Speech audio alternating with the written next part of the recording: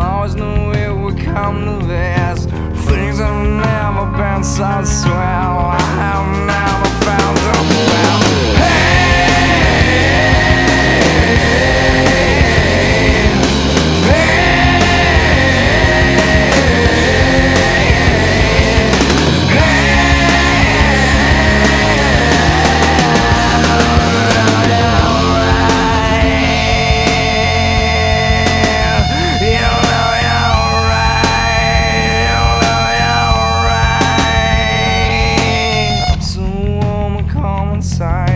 I no longer have to hide.